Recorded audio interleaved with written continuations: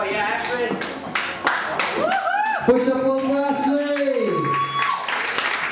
Okay, let's go.